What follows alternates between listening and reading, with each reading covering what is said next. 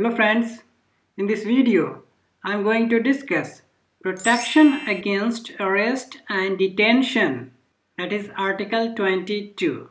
Article 22 safeguards the interest of an arrestee by giving him the right to know the reason and ground of his arrest and also he has the right to consult his advocate. So in this video I will discuss the rights of an arrestee enshrined in Article 22.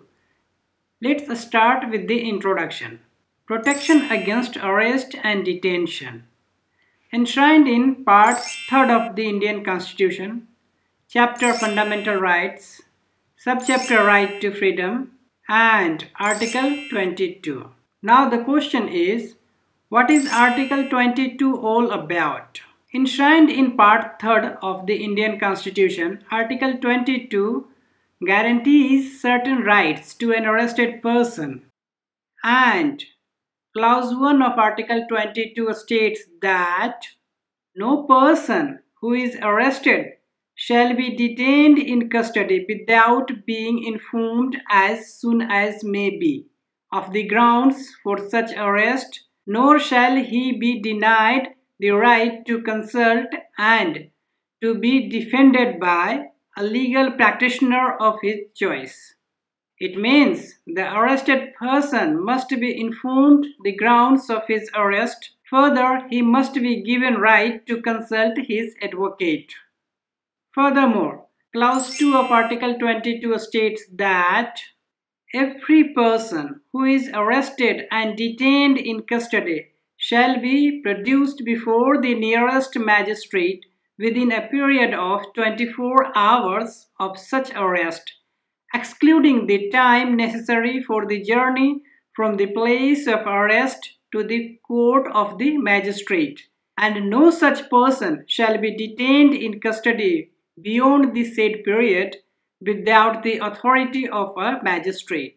So it means the arrested person must be produced before the nearest magistrate within a period of 24 hours of arrest. However, the time of journey from the place of arrest to the court of the magistrate is excluded from this 24 hours.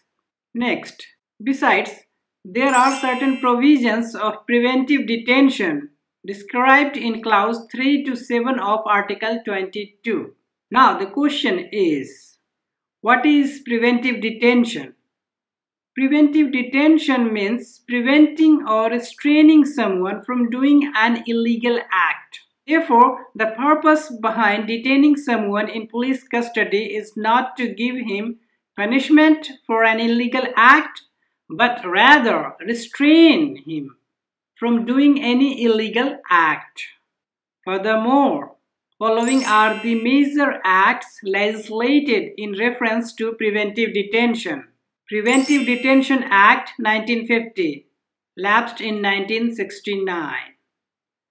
Maintenance of Internal Security Act, that is MISA, 1971. It is also abolished in 1978. Conservation of Foreign Exchange and Prevention of Smuggling Activities Act, also popular as COFEPOSA. Next, National Security Act 1980.